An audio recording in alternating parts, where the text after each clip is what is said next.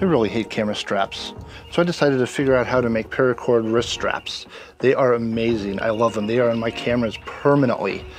I like them so much, I think every one of you will like them too. So I decided to start making them. I've got a whole bunch here and a bunch more for sale. I'll have a link below. This one here, beautiful orange and black. Perfect for anybody who loves cameras. This would be a good one for Halloween, or maybe there's a sporting team that are these colors. You put it on your wrist, and you will never drop it. You could pull a truck with these. These things are amazing.